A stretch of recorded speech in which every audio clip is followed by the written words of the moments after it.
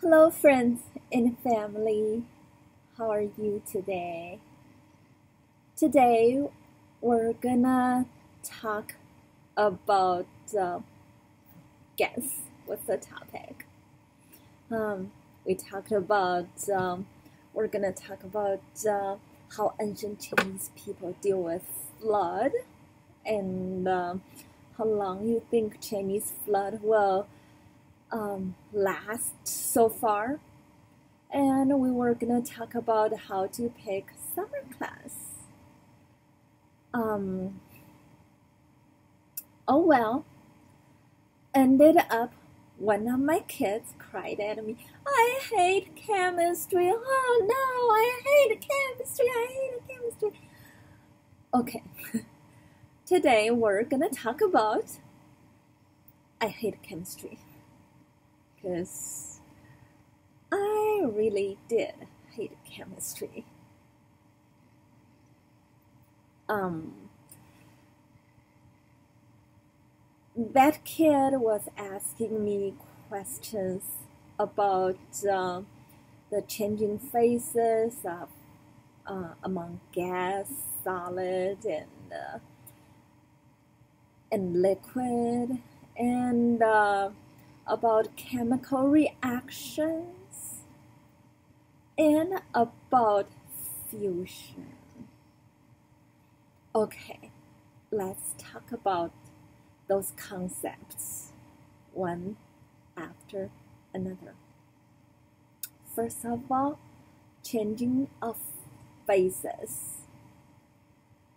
That is about changing from gas to liquid to uh, solid, the temperature, the environment, things bump into each other, the gravity, the whole nine yards.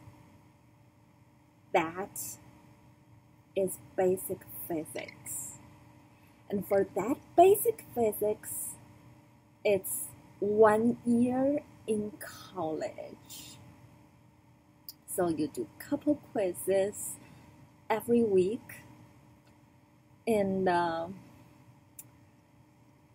at the end of the semester, there were probably twenty some quiz something quizzes already, and that's like four months, and then you finish it, finish it up for one whole mes- whole semester. For two whole semesters, um, you you learn all all things like um, the the omega that is um, speed of all kinds and the um, the MGH have and V square all, all those things. I'm not gonna tell you that you will have time to learn it in college that is um, physics. And then for chemistry, it's chemical reaction. What is a benzene ring? You are gonna learn it. Very carefully learn it. Your teacher will spend probably a whole class, whole 45, 50 minutes, just tell you how that benzene ring come into being. Well, that is only one small molecule, and your teacher will will, will tell you about how those carbon, hydrogens, the water, how they hook together, how they break up. Those are called chemical reactions. And uh, inorganic chemistry and chem- organic chemistry are two different um, parts. One year, two semester, you do intro to inorganic chemistry one and two. Another year, you do organic chemistry one and two. And next concept I want to talk about is quantum physics. quantum physics is um, it's about uh, Einstein's law of relativity.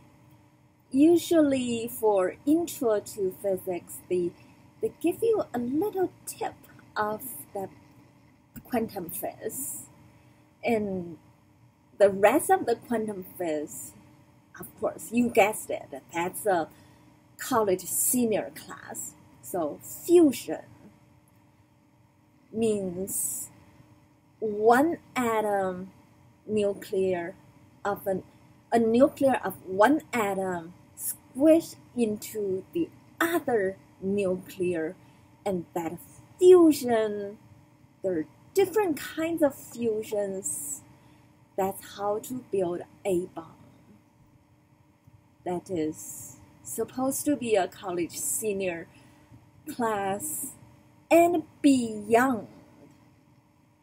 It's very, very hard. And do you know what? Some kids were taking a chemistry class that asks for all those questions. What is fusion? What is chemical reaction? What is um, what is physical changes, and every single one carefully with detailed questions. Oh my gosh, that's a hard, hard class. I'm glad you didn't pass that class. Think about it. It's like if you really get that class done with a good grade, you will end up, say, learning it better than a college senior. And then when you go to college, when people see, oh, you learned all those things already, uh, you know what? Just uh, learn some advanced physics or advanced chemistry.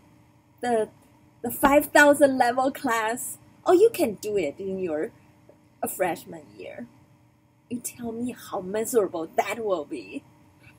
And you're thinking go to an international meeting with all kinds of 70s and 80s people people in their old age you think that is miserable yeah taking a graduate level class in freshman year that is even worse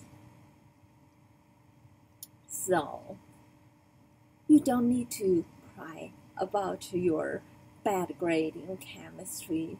If I were taking that chemistry class, I would hate that class too. Oh my gosh, that is so gross. Um, that's what I want to tell you today, kid. Friends, family, I love you so much. Um, so, I guess we will talk today. It's it's way too long, almost nine minutes. We'll we'll talk about um,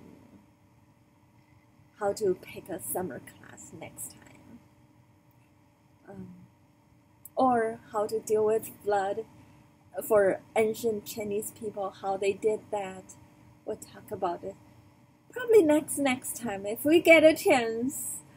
Um,